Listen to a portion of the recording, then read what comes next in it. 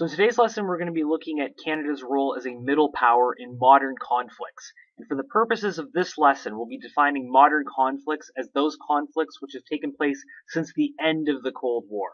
So since about 1990. And in order to do this, we'll be splitting the lesson up into two major parts. Uh, first, we'll briefly talk about Canada's role in geopolitics as a middle power and discuss exactly what we mean by that concept. And then in the second part of this lesson, we'll be looking at five different case studies and be analyzing what Canada's role was in each of these five case studies. The first Gulf War, the Rwandan genocide, the war in Afghanistan, the Iraq War of 2003, and the Syrian Civil War. So to begin with, we'll look at this idea of Canada as a middle power. In the 21st century, Canada is often described as a middle power in international relations. What this means is that while Canada is not a superpower, so like the US is, Canada still has some influence over international issues and is looked to when other countries want to form military coalitions, provide peacekeeping in conflict areas, or negotiate trade agreements and peace treaties. So this idea of a middle power goes back to international affairs and international relations theory, that there's these different tiers of powers among countries. So at the top end, you have these superpowers or great powers. So this would be countries like the United States and China and Russia today that are very powerful. They have large militaries. They have nuclear weapons. They have powerful economies. They often have large populations. Um, and as a result of all these things, they have a lot of influence on the way the world works. Below that, we have these idea, this idea of middle powers. So this would be Canada is a perfect example of this. We're not quite as big.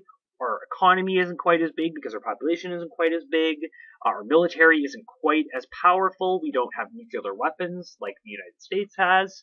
However, we still do have quite a bit of influence on the way the world works. Canada is often looked to, uh, again, for things like peacekeeping missions. We're a part of many uh, multinational uh, trade deals. We looked uh, the UN. We, we have a large role in the UN uh, with many initiatives going on there. So Canada plays a large role in the international community. It's not that we're isolated and not doing anything. It's just that we aren't necessarily this great, huge power that has the ability to unilaterally transform global affairs.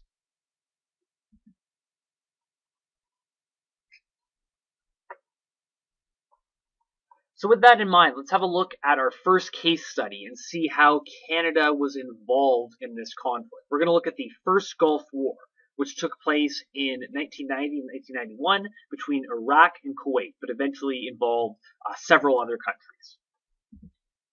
So a little bit of background on the first Gulf War. So we have the Iraq president here, this man at the side, Saddam Hussein. He was a dictator. He led Iraq from 1979 until 2003, and he was a ruthless dictator.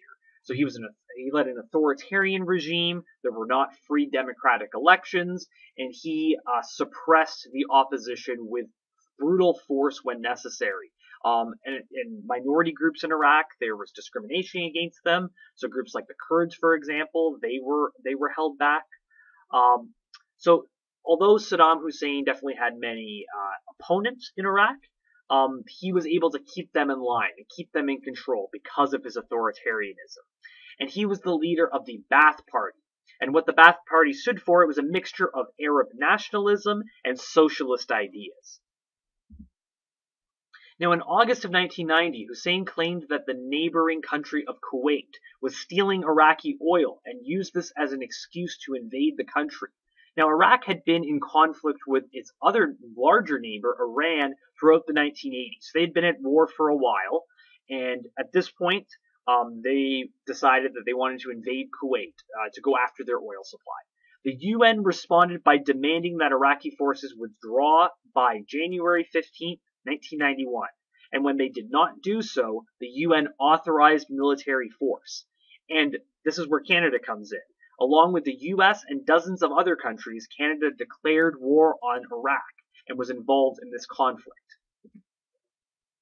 The coalition forces quickly overwhelmed the Iraqis and they soon withdrew from Kuwait. The US did not proceed onto the capital of Baghdad, however, and this allowed Hussein to remain in power. The reason for this is that the UN's mandate was not to remove Hussein from power. The whole idea was that the violation of international law was that Saddam Hussein had invaded Kuwait. So really all they wanted to do was get uh, Iraqi forces to withdraw from Kuwait. Once that was done, even though the U.S. did want to remove Saddam Hussein from power, they were not authorized to do this by the UN. So the U.S. forces did not continue on. However, after the war, the UN continued to impose economic sanctions on Iraq, and they also continued to do routine weapons inspections. So this was to prevent Iraq from developing chemical, biological, or nuclear weapons of their own, which might make them pose a threat to neighboring countries in the coming years. And as a precaution, after the end of the war, the U.S. kept many thousand troops stationed in Saudi Arabia as a precaution in case uh, Hussein ever decided to invade a neighboring country again. This was to sort of uh, try to hold that off. This was a deterrent by keeping these forces in Saudi Arabia, which was another one of those coalition countries during the Gulf War. So what we can see from this is that although Canada is playing a small part here, we definitely are part of a larger international effort here. So the UN had decided that the uh, invasion of Kuwait was against international law, and we have Canada not leading the charge to go into Iraq, but definitely following the lead of the United States in order to accomplish this larger goal. Our second case study we're going to look at here today is the Rwandan genocide. So the Rwandan genocide comes out of a civil conflict in Rwanda between the Hutu majority and the Tutsi minority. There's two ethnic groups within Rwanda. There's a very complicated history between these two groups that goes back to the colonial era when Rwanda was a colony of Germany. Um, during this time, the, uh, the Tutsi minority eventually came out uh, with a lot more power than the Hutu majority, and this caused a lot of tension between these two groups for many, many, many years. And a civil war broke out when the Rwandan president was assassinated in April of 1994. And what ended up resulting was a genocide. Over 800,000 Tutsis were killed during this genocide. So a huge, grave violation of human rights um, you know, on the scale of the Holocaust that we saw in World War II.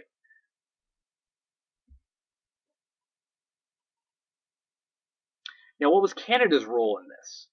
So, Canadians were already a part of a UN peacekeeping mission in Rwanda. Rwanda had already had civil conflict for many years, and the UN had decided to send a peacekeeping force to Rwanda to try to keep the peace. And this was led by a Canadian, General Romeo Dallaire. However, when tensions started to escalate, uh, the UN did not escalate their mission. So the idea is that peacekeepers are there to keep the peace. They're not, quote, peacemakers. And this is an important distinction. When we talk about peacekeepers, um, they can only be effective if there's already a truce, if the peace is already there. They're there to sort of help the conflict remain peaceful. Um, we can't send peacekeepers in. They often aren't armed, or if they are armed, it's with only small weapons. They aren't there to force a peace upon groups. They're there to keep the peace. So when uh, this genocide started happening, um, Dallaire and his forces felt like they couldn't do anything to stop the genocide. And it's important to also note here just how quickly this genocide happened like uh, over 800,000 uh, Tutsis were killed, and this is something that escalated over the course of weeks and months. So even whereas the Holocaust happened over the course of years, this was happening in an even shorter time scale. So you can just imagine the uh, scale of this. We can see in the picture here at the bottom with uh, Romeo Dallaire, and he's inspecting these are the skulls of victims from this genocide.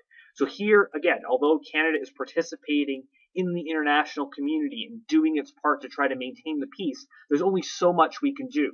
One of the biggest challenges that was faced by the UN peacekeeping force at the time is that the United States, which is a member of the Security Council in the UN, um, did not want to send in troops. They didn't want to escalate this conflict further. So, although Canada was pushing in some ways to try to uh, prevent this genocide from happening, we weren't able to convince the Americans to do more. And um, the failure of that is, is looked upon as you know one of the big failures of, of foreign policy during this time that we allowed this genocide to happen or to keep going on. We didn't do as much as we maybe could have to stop it. Our third case study, we're going to look at the war in Afghanistan. So before we get to the war in Afghanistan in the early 2000s, let's just have a look, a little bit of a look at the background of uh, politics and military conflict in Afghanistan because that's important to look at too. by no means has was Afghanistan a peaceful place before the U.S. invasion. In the late 1970s, the Afghan government was overthrown by rebel groups. However, the Soviet Union supported the uh, communist government there. So we had a Soviet invasion of Afghanistan in the late 1970s to try to prop up the socialist government. And if you remember back to the Cold War, we had this idea of proxy wars that were fought between, although it wasn't the US and the Soviet Union fighting each other directly, they would kind of pick sides in a local conflict and support these uh, these groups to indirectly fight one another. And so this is what happened here. So the U.S. ended up backing the rebel groups, including the one that was eventually run by Osama bin Laden. And eventually these rebels forced the Soviets out of Afghanistan. And then there's some kind of interesting parallels here between the Soviets in Afghanistan and what happened to the United States during the Vietnam War. And what the result of this was was that a group called the Taliban took control. And the Taliban instituted a radical Islamist government that dramatically restricted the rights of citizens, particularly women, and enforced a theocratic religious law over the country. Another piece of background information that we want to understand here is the founding of the terrorist group Al Qaeda It was founded by Osama bin Laden in 1988, and it was been described as a quote stateless multinational army. Uh, terrorist groups, in many ways, kind of challenge our notions of sort of what an army is. So a group like Al Qaeda um, does not operate within the borders of one country. So this isn't like during World War II, where the United States could declare war on a particular country. Al Qaeda is not a country; they operate in many countries. They're a stateless army. So this makes it uh, more challenging to try to deal with an, an, an, enemy such as such as Al Qaeda that we'll see when we get into uh, the later parts of this lesson. And what Al Qaeda promoted was an extreme, violent interpretation of Islam. So they called for um, violent attacks on the West, and they wanted to establish fundamentalist theocracies throughout the Muslim world. And sort of the culmination of all of this was the September 11th attacks. So on September 11th, 2001, four planes were hijacked over the United States. Two were crashed into the World Trade Center in New York City, and another in the Pentagon in Washington, D.C., and another one crashed into a field in Pennsylvania. Um, it's believed that the fourth plane was also destined for Washington, D.C., and it was either going to be flown into the White House or the U.S. Capitol building. As a result of this, uh, 2,753 people were killed, including 24 Canadians, and soon afterwards, Osama bin Laden claimed responsibility for the attacks. And it's important to note here just how dramatic of an impact these attacks had on the American psyche. Um, again, this is 10 years after the Cold War has ended. Um, the 1990s, in many ways, were a lull in sort of foreign policy, and the U.S. didn't really have an enemy to, to fight at this time. Um, for, for 50 years, the U.S. and the Soviet Union were, you know, locked in this uh, this Cold War with one another. But the U.S., as a result of that, was able to uh, sort of focus its foreign policy to being anti-communism, anti-Soviet. Once the Soviet Union collapsed in 1991, the U.S. didn't have that opponent anymore. So some have described the 90s as sort of an aimless foreign policy that the United States had. They didn't really know where to focus their attention. And so this idea of uh, terrorism, it, it's not that it was not on their radar at all, but it wasn't necessarily their entire focus. There, there was lots of different focuses. They weren't sure if there were state actors that they should be focused on. They weren't sure if maybe they should focus on things like organized crime groups.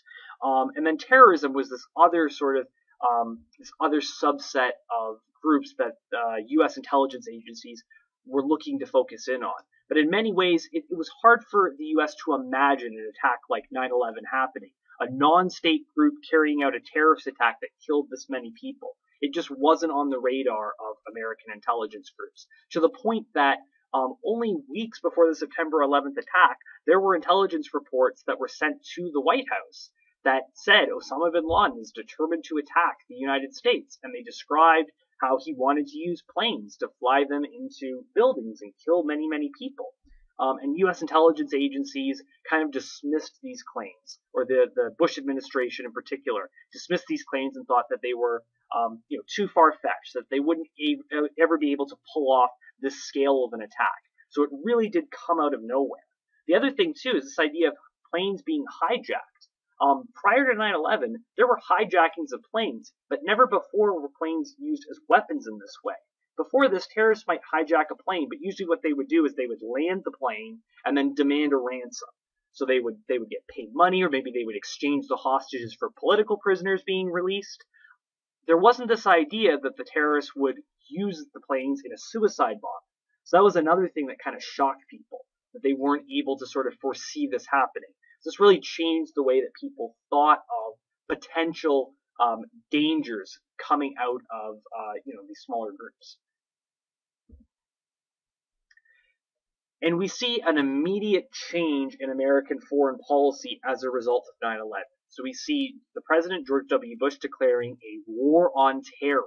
And again, this is a complicated idea because unlike other wars where you can declare war on a country and you know where they are, you know where their borders are, you know where, what their army is, you know their army they wear the same clothes, they you know fight on a battlefield. Terror is different. Terrorism is more of an idea. Declaring war on an idea is more difficult than declaring war on a country.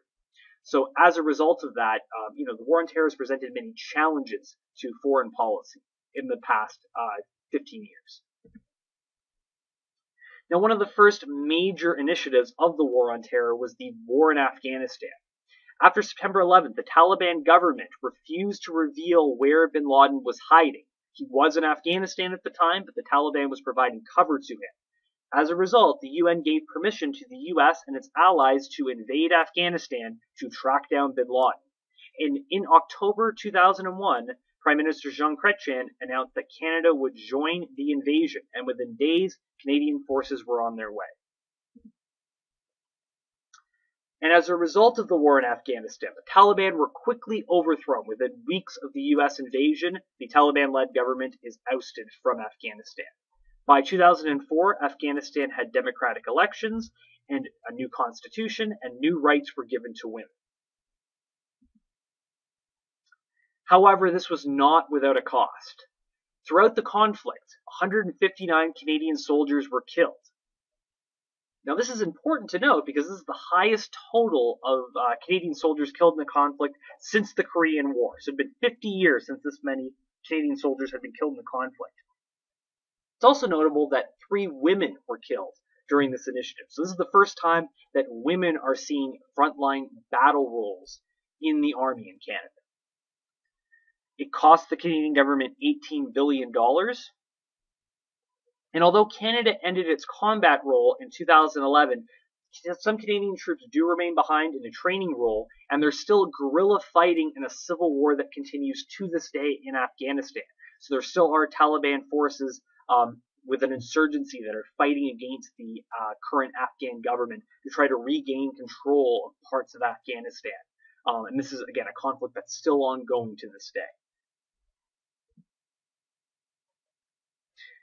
And so some other pieces of aftermath of the war. So we have the civil war continuing in Afghanistan. We have continued drone strikes in Pakistan. So the U.S., particularly under Obama, um, began this aggressive campaign of trying to kill terrorist leaders, not through traditional uh, armed forces, but by using unmanned drones, like you see in the pictures here. So these are flown remotely. There's people in the U.S. who are flying these uh, machines halfway around the world, and then they they you know they'll shoot a missile and they'll take out um, their target. Now this is this presents many problems because uh, a often it's hard to find these terrorist leaders just off in the middle of nowhere by themselves. So one of the criticisms of drone strikes is that they have a high a collateral damage. So often family members of these terrorist leaders are also killed. Um, and one way that this the sort of number of, of terrorists that are killed might be inflated because one thing the U.S. has done in the past is that when they're counting the number of terrorists killed by a drone strike, they'll include any males of uh, fighting age, so any male between the age of about 16 and into their 40s, they they consider those to be terrorists, whether or not it was proven that they were um, you know, part of a network or they were part of the conspiracy or they were working for a terrorist group, they include all those men the same. So whether they were collateral damage or not.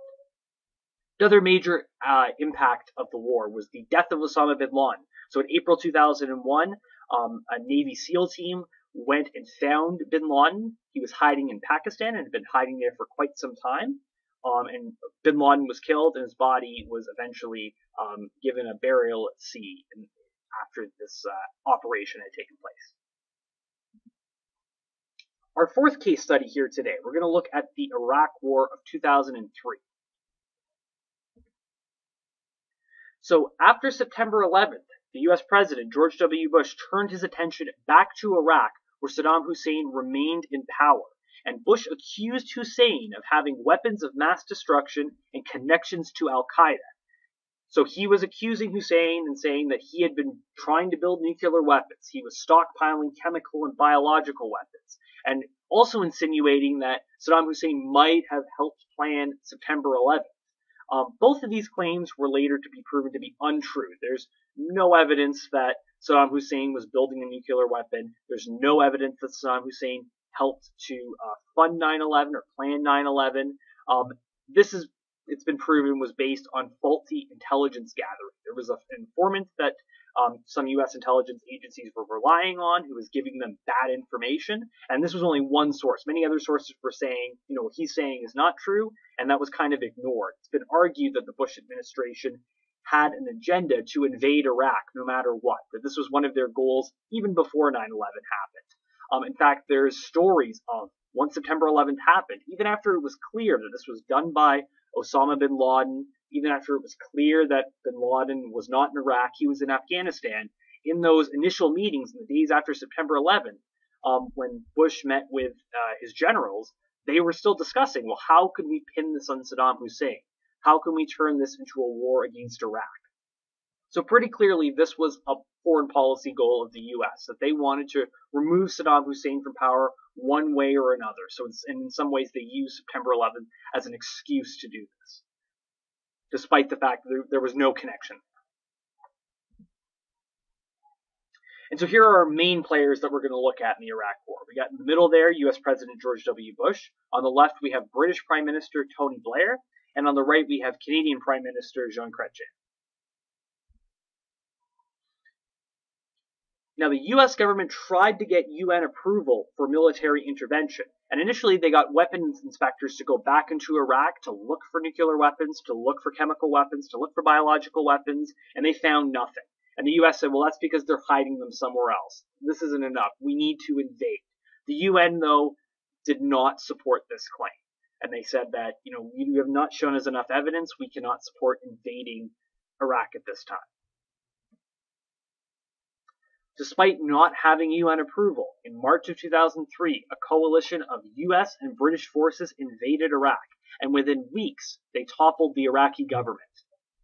In 2006, Saddam Hussein was captured and executed, and democratic elections were held. However, due to the lack of a UN mandate, Prime Minister Jean Chrétien decided not to support the war.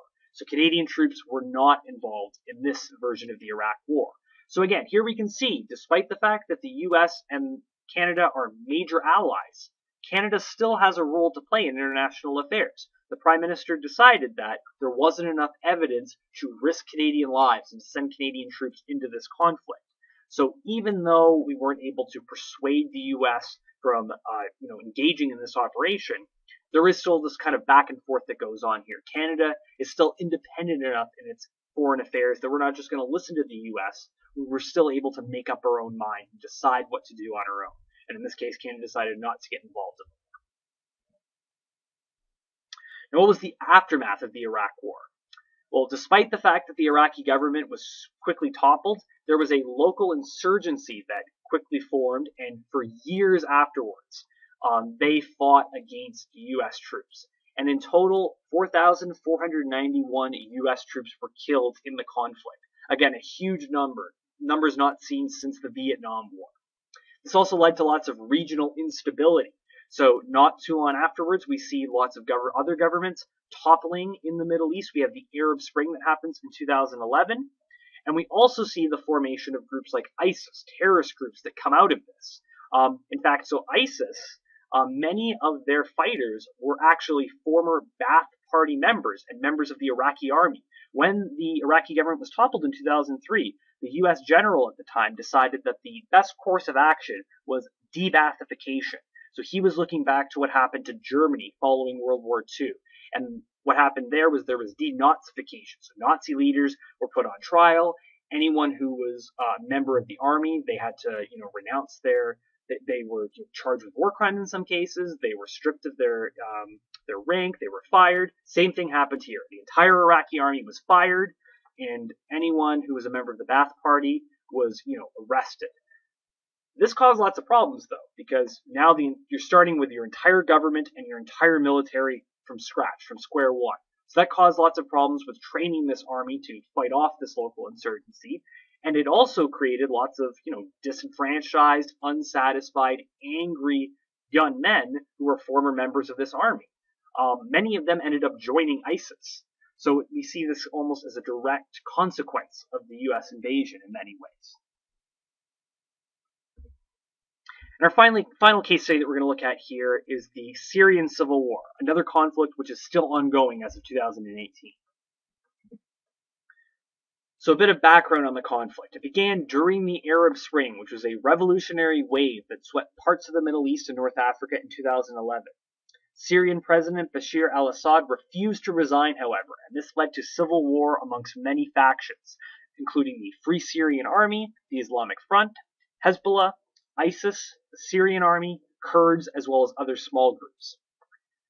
A U.S. coalition became involved in a limited role to, to support some of the rebel fighters who were fighting against the Syrian government starting in 2014. And beginning in 2015, Russia provided tactical support to the Assad regime. So we can almost see some have compared this to some of the proxy wars that we, we saw during the Cold War with the US and Russia picking sides and as of January 2018, the conflict is still ongoing.